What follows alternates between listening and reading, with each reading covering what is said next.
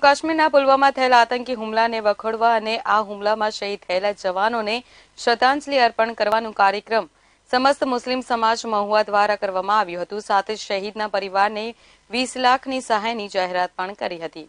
મહુવાના સમસ્ત મુસ્લિમ સમાજ દ્વારા પુલવામામાં આતંકવાદી હુમલામાં શહીદ થયેલ જવાનોને શ્રદ્ધાંજલિ આપવામાં આવી હતી.